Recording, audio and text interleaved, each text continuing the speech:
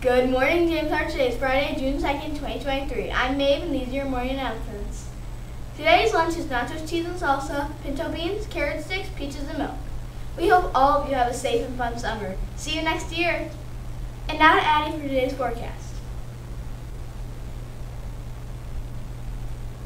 Today will be sunny with a high of 90 and a low of 61.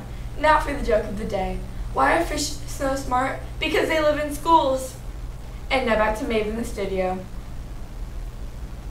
We'd like to wish a very happy birthday to Aaliyah Allen, Bailey Caston, Philippe Corona Ramirez, Owen Fox, Braylon Hammond, and Stephen Wallaby.